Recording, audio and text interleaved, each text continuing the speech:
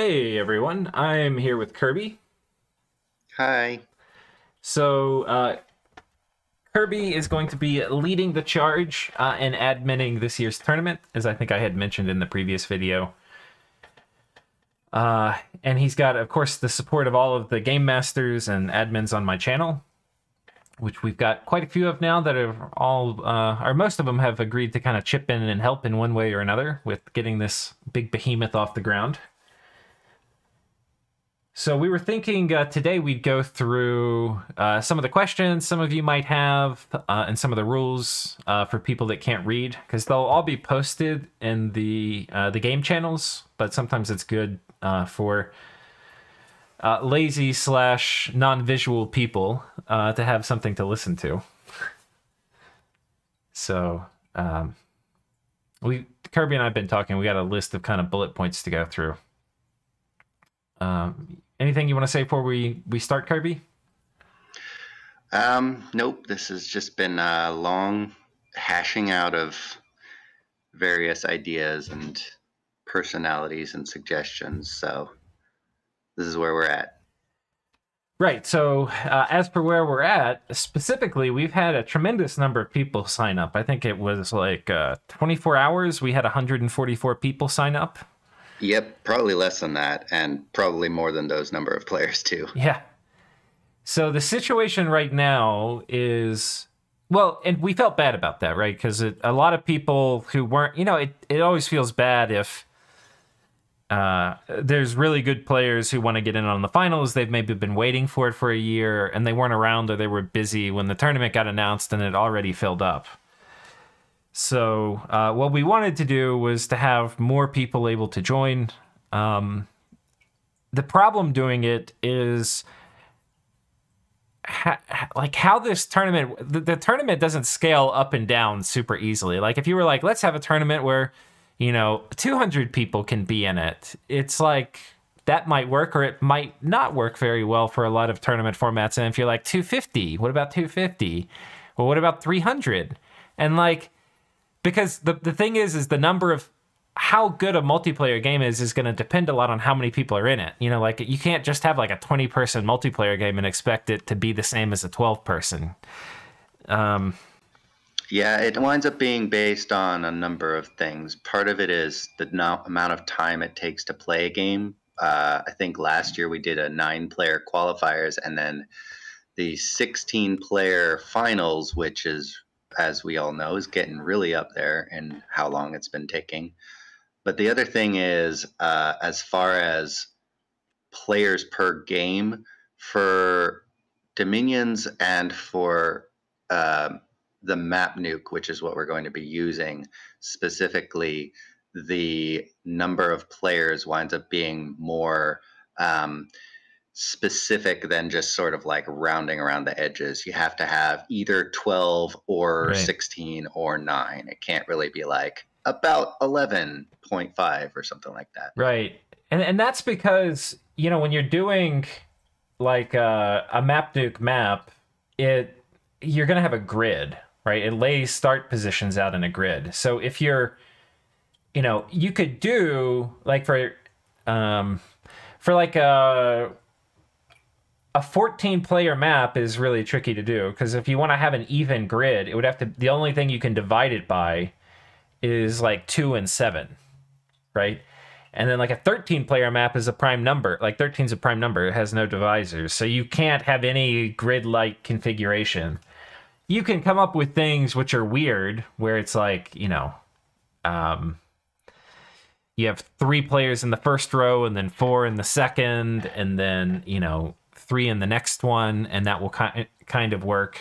But and then three in the one after. But yeah, it's basically there's some num like some specific numbers that make for a lot better maps. Uh, like 12 and 16 are both pretty good. And then 14, 13 is a complete no go. 14 and 15 are okay, but they're not great. The the problem with 16, which is what we're doing for the finals, is it just makes for a really long game, as we can see from the finals. Like it just and you can't really lower the throne setting um, very much because I think we had it on eight, which is a, a lot of times for a 16 player game, you might even do nine. Like you could maybe put it on seven, but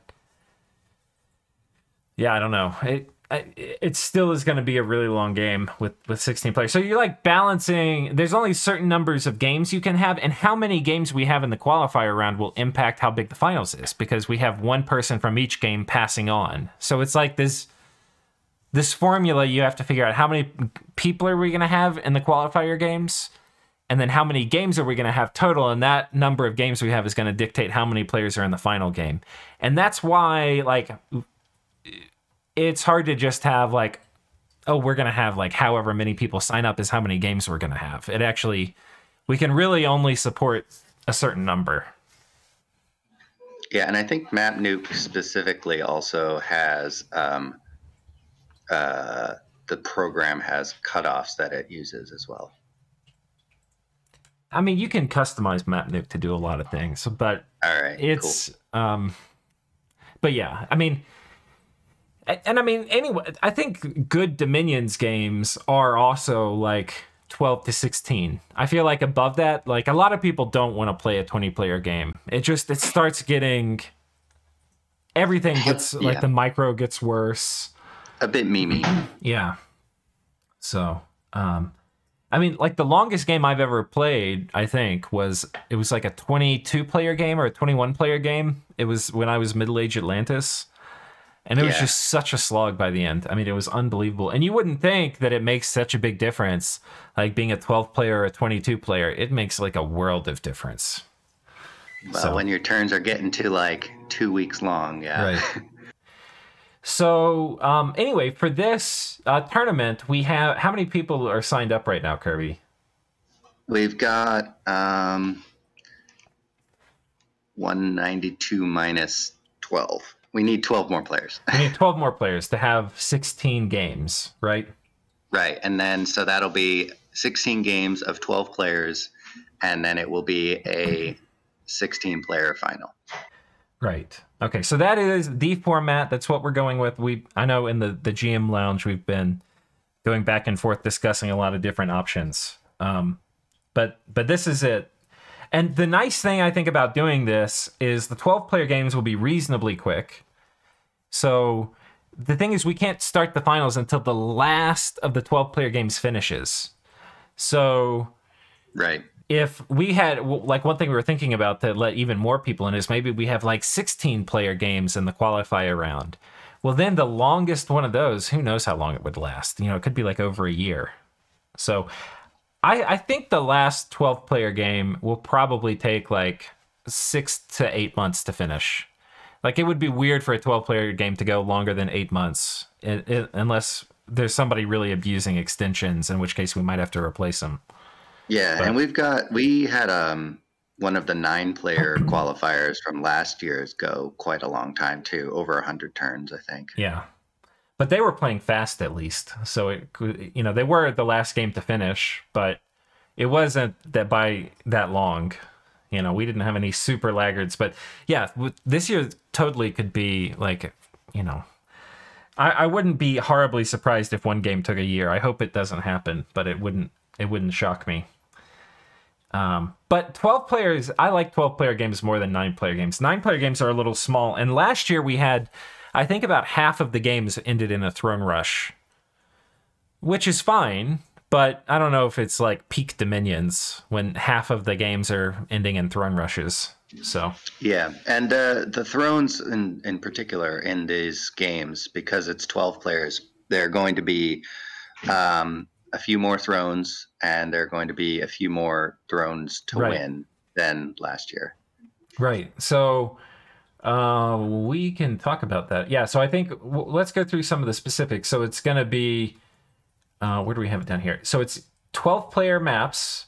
It's going to be 192 provinces. Um, and we're doing, do we have the throne setting listed here? I think they're down here. So 12 level 2 thrones, six of those thrones to win. So. Yeah, and so if you remember where Map Nuke puts you and how it breaks the maps down is that you start with four corner thrones that you can easily reach, and then you've got um, four neighbors. And so then, in theory, if you play a perfect game, you can get all four of your own thrones and then um, take one other player and get the two thrones that they have next to their cap. That, um, Right. yeah, but So that's if- like if- that's like a perfect perfect game. Yeah. So if you start here, yeah, with with when we were playing on a nine player map, like if these were all of your principal neighbors, you could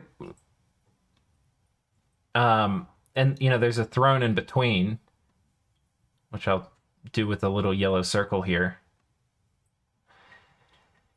It was really easy to throne rush. If you got all four of your thrones, all you had to do was get one other throne. So that means you just like if you win the first war, you're really well set up to throne rush. You don't really need to conquer the board at all. Um so anyway, this is kind of what a like a nine player map would look like. On a with the current setting, which is 12 players and six thrones to win, you would have to conquer somebody and they would uh, the person you're conquering would have to like have both basically like a first of all you'd have to have all of your own thrones then you conquer somebody probably there's a very good chance that two other players are going to own these thrones so you'd have to pick a war with two other players in addition to you know having all of the thrones on this this flanking border if you were to attack this way Yeah. So- plus, I think it's pretty easy to see that coming. Um, Yeah. For all the other players. So yeah, even though it's only one throne more, I think it's gonna. I think we'll see a good. You can still throne rush, but I think we'll see less of it, um, which will be good. I think if maybe like twenty percent of the games end in throne rushes rather than fifty percent, that would be good.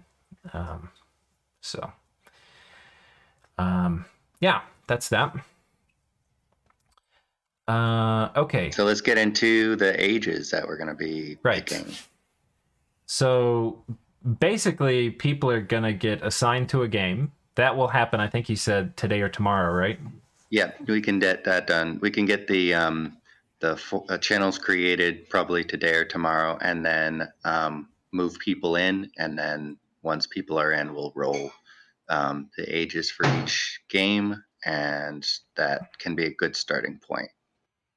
Okay.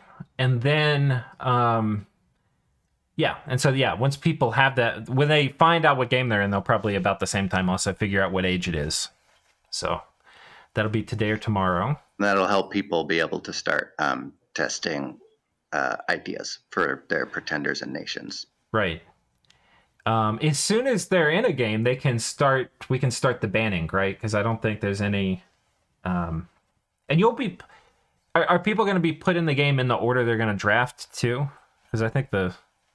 The We can hash that out in the um, with the rest of the game masters. Okay. Um, and see what we decide. okay, but um, as the player, you will know reasonably shortly uh, what your draft order is. So it may not be at the exact moment the game started. We'll let you guys know, but you'll know pretty soon. But the the banning doesn't really need a draft order. It, basically, people can just ban whenever. I think what did we say? It's three ban three votes to ban a nation now because we have more players. Yeah, but last year it was nine players, so two votes to ban, and this year we're going to do three votes. Right. Um, So with 12 players, that's 12 divided by 3. That means the maximum number of nations you can ban in any era is going to be uh, 4. right. Um, yeah, so that's basically banning. So basically, once you get in a game, you can just immediately throw down your votes, say who you want to ban. Uh, once it gets three votes, then that nation's eliminated. Nobody can pick it.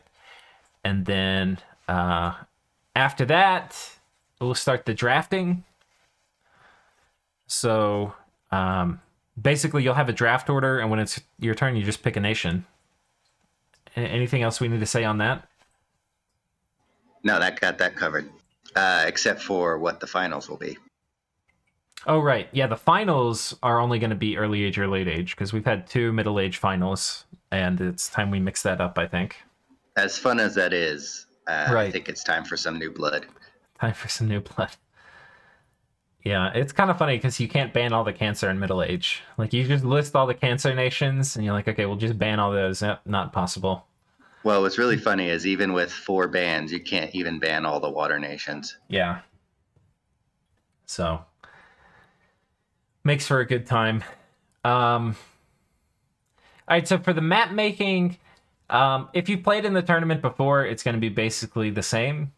But there's, uh, if you haven't or you didn't really know, there's some kind of interesting things about it. Um, we'll be using Map Nuke first of all, and uh, it's going to be the normal set like grid setting where you've got 12 provinces per player. Um, and was it 12? It's about 12. Does it say, is that how it works? 12 times 12? No. I think it's 12 times 16. I think it's 16 12 provinces. times 16, yeah. Yeah, it's 16 provinces a player. I don't know why I have 12. Um, anywho. Uh, yeah, so, but we're to hand massage it so that if you're an underwater nation, you get 10 provinces net underwater. Otherwise, if you want to be bigger than 10 provinces, you have to hold some land, which I think is a decent balance of underwater cancer versus um, not punish. You know, some nations are like aquatic, so if you make this number too small, it really punishes them. Um, Unless there's more than one um, water in the game, in Right. which case they're all sharing the pond. Right. Yeah, that's another good point. Is the underwater nations are always going to be adjacent to each other. Uh, and we're not going to have like some setup where they're each their own little underwater island. Um, and then we do have some special terrain starts, and um, if you want them, you need to indicate that. Um, the game master, whoever's running your game, will ask, but um, if you want, each of these nations can have a special start. If you're not one of these nations and you want a special type of terrain for your start, then I'm sorry. Yeah, we went over all of this last year Right. and um, like in great depth. And each of them has either specific nation uh, reasons for it, or um, a lot of them are like summons, like like specific summons that um, the nation gets Yeah, that changes the game if they can't get them easily. right. It like some nations may have like a slight preference for a certain type of terrain. In general, if it was like a slight preference, then we didn't um we we wouldn't do it.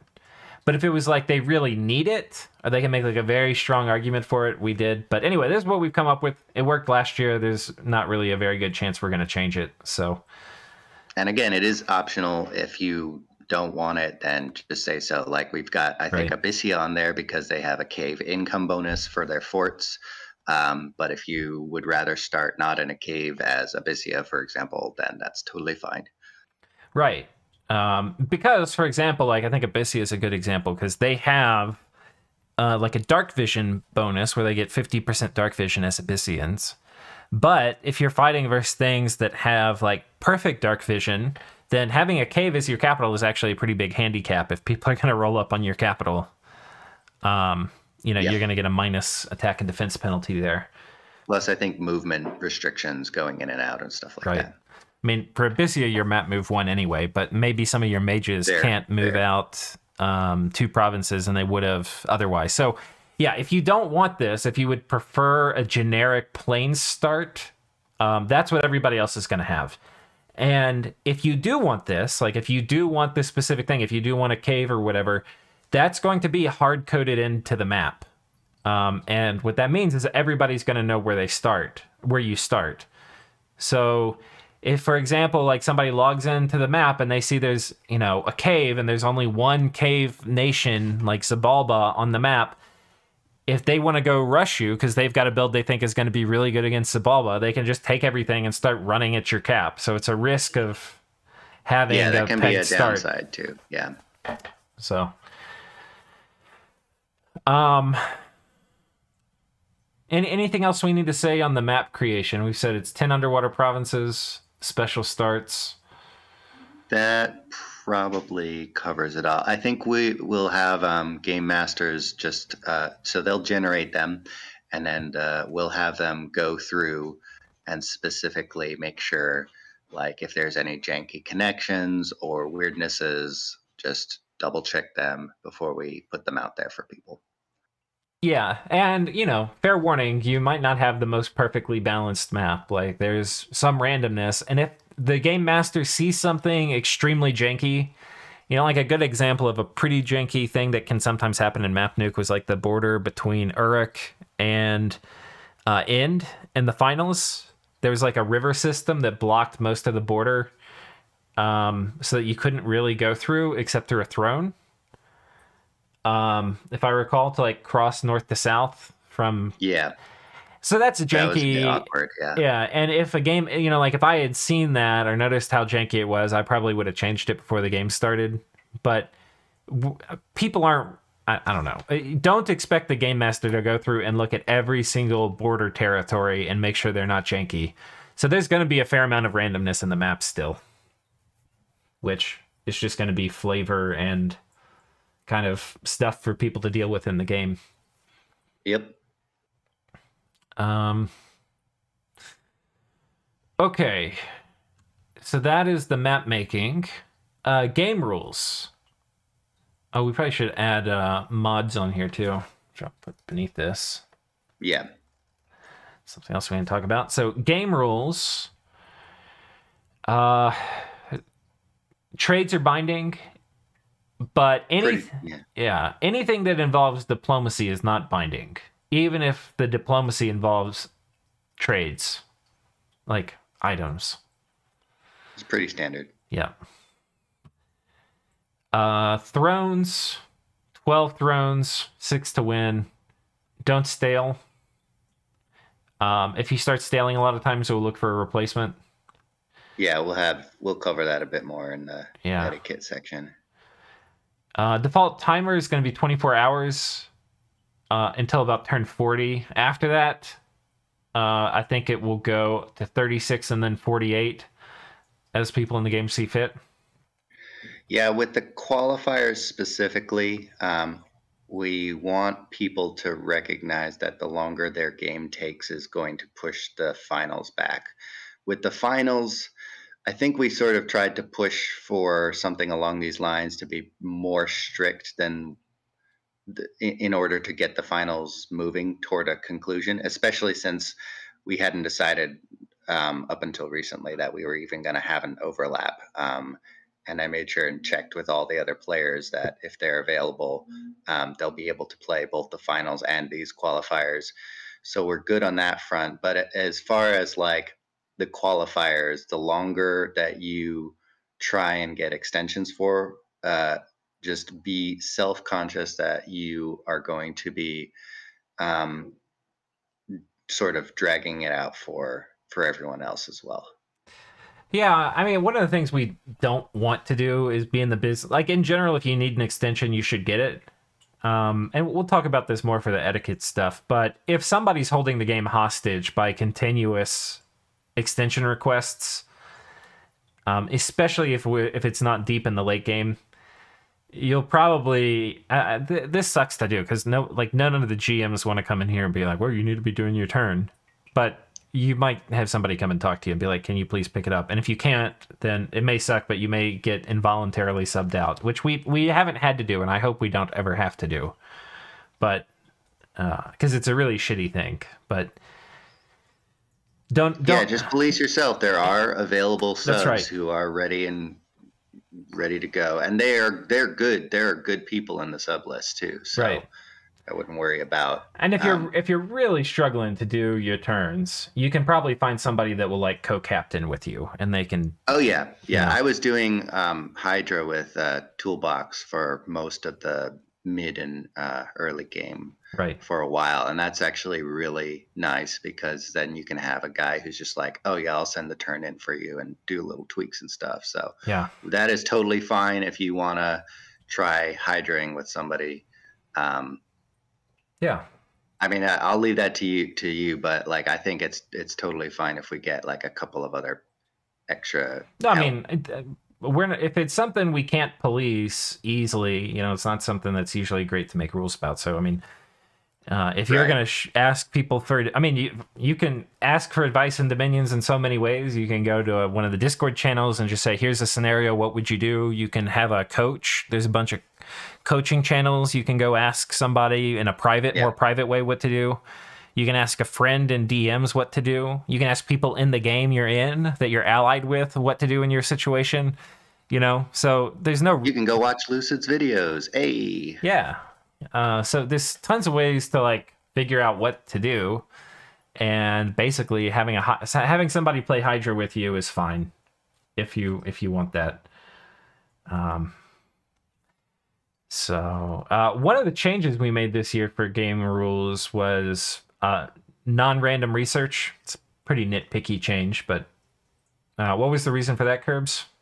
There's some, um, well, it does allow people to uh, be more tailored in their builds if they want to, say, um, plan for a specific research path, um, uh, like going for specific uh, timing on alteration or something like that, rather than hoping that you get some bonus and then find you've got like Right.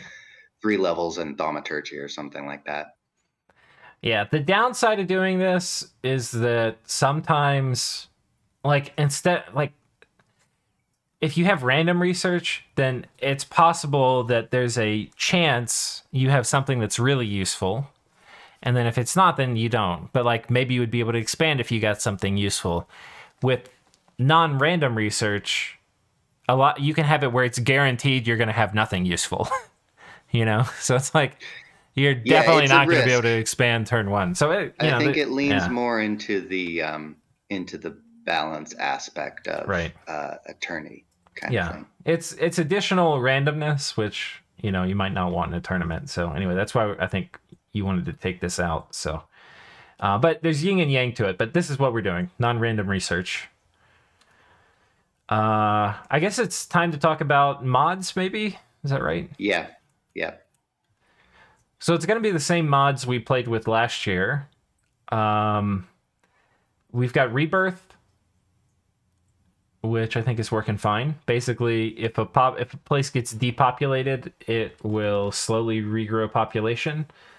It regrows really slowly, I think from like two or three thousand population back up, and then it regrows pretty quickly from zero population to back until it gets to like two or three thousand. And this is so that pop killer a bit more manageable. If you want to play Pop Kill, you are free to do so if it's not banned. Right. Uh, sadly, it normally get. Sadly, I like playing Pop Kill Nations, but it normally gets banned. So if you've got the big dreams, like if Novell Novella signed up, he's probably got big dreams for playing that Pop Kill Nation. Sadly, it may not work out for him. Keep your eye out if Novelle's in an MA game. Yeah. Yeah, I mean, I- honestly, I think Ermor probably has passed into a fair number of games because I feel like it doesn't always get banned. There's just so many other things in Middle Age you really need to ban. Um. Okay, we've got our thematic Gem Gen, my thematic Gem Gen, uh, and Been a couple of tweaks to that recently. Right, with the blood items. So one of the tweaks was the cheap the cheap blood item, the one the uh, cardiac cask, which used to give you two blood slaves. It's now cheaper. I think it was 15 slaves, now it's 10. But it only gives you one blood slave. So it's actually in some ways less bang for your buck. Um but the the change but a lot of times you only need one blood slave. Like if you're going to be a Sabbath master or Sabbath slave, then like you only need one blood slave to do that. And so now that's cheaper. Um the the main reason though was so that it's it was a kind of a nerf to blood assassins. You can't there are blood assassins in the game, you know, like late age Abyssia. And the idea was they should be able to bring a blood slave in. So we'll have we'll leave an item so they can at least have one blood slave come in to them into to assassin battles if they want. But Yeah. um, two was felt to be a bit too many. And with two, you can actually start abusing some things like life for life, and uh, you can send people to prison to like Claw of Kokytos or whatever, which are just some of the more like almost impossible to counter assassin things you can do. So that was the reason for that change. Honestly, I, I hadn't seen it get abused hardly at all, but it was more like the theoretical possibility for its abuse that we changed it. Yep. Um, and the second item, the the one that was expensive, uh, it was also kind of like a, maybe a little too edgy in terms of lore. We uh, we got rid of it and changed it, uh, and now it's a summon, and the summon just carries around blood slaves with him. So, um, the the reason for that is again for assassin battles, right? That way you can't have like a five slaves and an assassin battle, which you know, for a blood mage they can do horrible things with five slaves in an assassin battle. Um but yeah, that um if you I forget what I can't remember what research level it is, but anyway, you can download the mod and look at it, but I should be in your channel and the mods section with the latest yeah. version, I think, right? Yeah. But um yeah, it's just the commander. He can't hardly do anything. He has uh, enough hit points and stuff. He's going to resist most all of the like strategic nukes and things like that.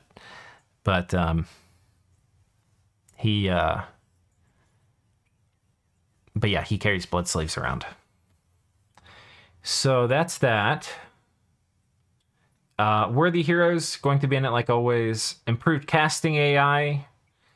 Uh, this actually has been updated in a pretty significant way. Um, since well, there was a change last year between the qualifiers and the finals, where we made it where it will cast point buffs off script, the AI will, if there's nothing else it can do. So it's a really low priority still. It's still going to prioritize any kind of evocations once you're off script but it will still do it, especially if you don't have any of the evocations for that mage learned, right? Um, so, like, if you have an Astral One Yogi or something, and he's on Advance and Cast, and all you've given him to do, the only spells that are available are like Luck and Body Ethereal, then he's going to cast Luck and Body Ethereal.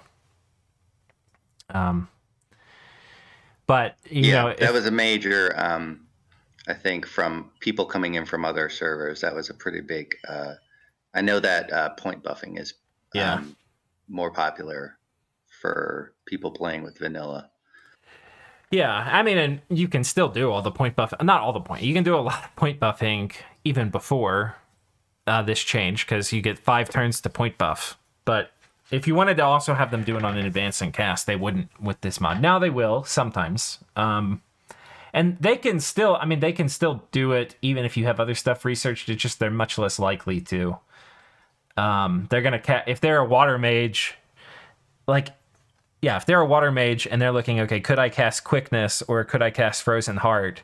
If there's a good frozen heart target around, they're gonna do frozen heart. Um, which frozen heart's a good spell. So, um, the, but the changes that have been made since the finals. So this was present. This change was existing um, when the finals happened. The change that's been that was introduced after the finals is there have been a few kind of small tweaks with like some national spells that weren't um uh that weren't factored in they like the the Xibalban spells they would still be spamming like some of the gift of whatever soul off script and those generally are not very good um so anyway those were added in but the big change is that uh blood will now re- cast reinvigoration when they get high fatigue so Yep, off script. Right. So that can be pretty huge. If you do it perfectly, it's not going to do it to reset communion slave fatigue. It'll only try to reset master fatigue. But if you do it perfectly, like a master in a communion can even get fatigued out and then he'll have a slave near him and be like, oh, we should use this. And then he'll reset the fatigue on all the slaves off script. So um, anyway, there's a there's a lot of possibilities that open up when you can cast reinvigoration intelligently off script, which you can't in vanilla. The AI will never cast it. I think if you I think you put it in there that it will cast off script at 80 fatigue or more, right? Yeah, I mean that's just what I noticed, right? It's not like I hard coded okay. that into the game, but the game however the engine looks at it for the AI is the more fatigue you have, the more likely it is to want to cast the spell. And so I just tinkered with the um, the casting, like how much it wants to cast that spell, the the AI mod command. And I tinkered with it until it would kind of start casting it once it was at 80 or 90 fatigue. Cool. Um, but it, it, you know, I'm not going to sit here and tell you it won't cast it when it's 70, um, and it will always cast it when it's 80. It's it's not uh, quite that well honed. Maybe we can get Loggy on the case. Yeah. Um. Okay, and then we will. So I I did a video on my channel recently about uh, improved sprites, which was a mod made by Sturm, and uh, this has no. This is only cosmetic. Uh, doesn't change any of the way the game plays. It just overhauls how a lot of the sprites look. Um, and I think if the vast majority of people want that in a game, we can put that in, um, since it's cosmetic only. Yeah, So- it can be a little bit fun to. Um, I haven't played with it myself, but I have watched other people play it, and I was like, oh, that's you know spicy. It it makes it a little bit of a new playing experience, but Yeah. it doesn't change. Yeah, like you said, gameplay at all, except for maybe I think you mentioned in your video that it can sometimes look a bit weird that you don't necessarily automatically know oh those are barbarians and i'm just going to send them in there and now i'm dead Right. Yeah, you have to pay. You have to actually like read. If you're a veteran player and you're used to just looking at stuff and knowing what it is, then it's a different. Like all the sprites are different, so you don't look at it anymore and just know what it is. I mean, it makes sense when you look at it. You're like, oh, like if you study it, but I mean, veteran players they just know this sprite equals this unit, right? And it's really that simple for us. And this shifts it. So some people aren't going to want it. Um, but if the vast majority of players, 8 out of 12, want it, we can put it on in the game. yep Um, cosmetic only. But anyway, that's something you'll get to vote on. Uh, anything else for the mods? Oh, I, I know we were talking about using capital recuperation because we've got that right it's uh it's working uh we had some kinks to iron out from it at the beginning but it, we haven't used it in enough games where i feel comfortable putting it in the tournament really we kind of asked some of the gms and they're like yeah let's hold off on it Yeah, we went back and forth on that, but I think we're gonna leave it out for this one. right Maybe But- the finals. I don't know. We'll see. We'll, When we get there, we'll see. we'll see um but you know do consider using it in games you're playing because for next year we'll probably have you know there will be a lot more games that have finished that have had it in it and we'll have more feedback so um yeah it's it's definitely on the candidate list for future tournament games just we didn't decide to put it in this one okay etiquette is i guess the last thing Yeah. Uh, okay, so leaving, if you need to leave a game, please don't ghost, right? It's so much easier for the GMs if you tell us you're, you need to leave and sub out because we can get your password from you so we can give it to the next player. We don't have to like do it. We have like a little thing we have to do if we don't get your password that's annoying for us. So tell people if you're going to leave and we'll find you a sub. It does mess with people's games. Yeah, if you just um, ghost everybody and Yeah. don't give people the password to um, have us be able to put the next person in easily. Yeah, I mean it's it's and it's always way preferable if you can play your position to the end. You know, like subbing is kind of a little, um, you know, it, like it's not great when you need to sub in general or leave a game, but it's way better when you let people know. Like we all appreciate it when you let people know when we're able to like find you a sub instead of just like pure ghosting. Um, and everybody who's played the game recognizes that everybody needs a sub at some point. So, you know, if you really need one, then do it. Uh, let people know, but also try to play out your position.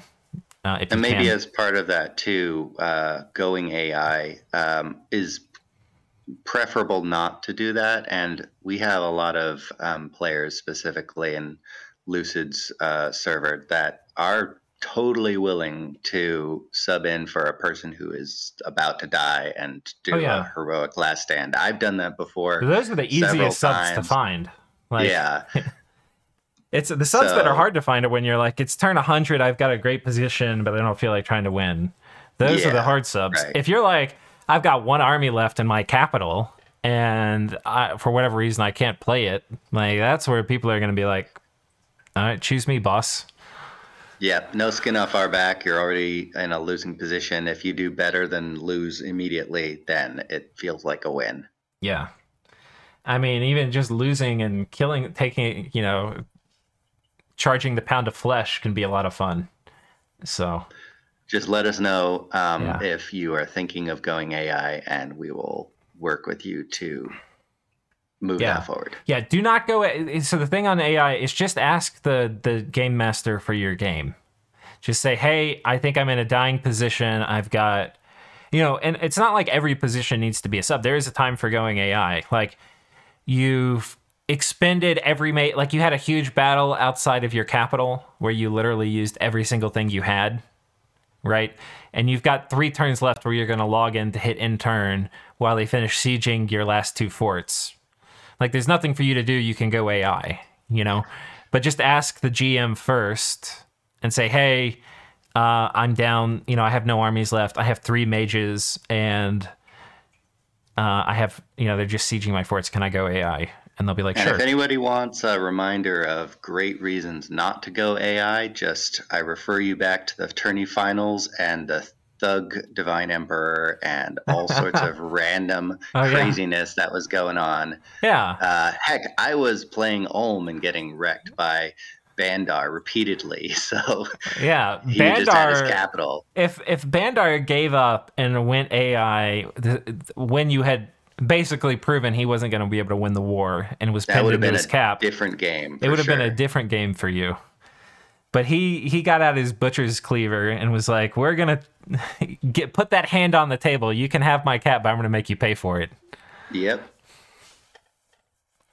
Um. Okay, slow turns. What do you what do you have to say about slow turns, Kirbs?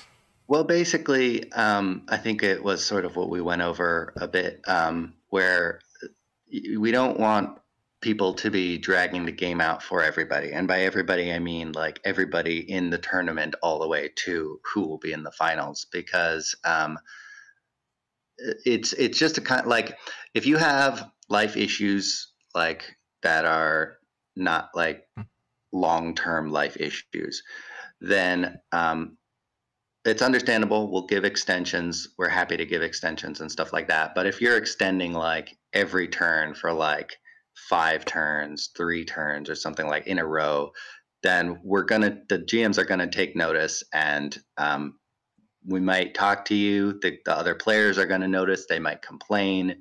So just be attentive.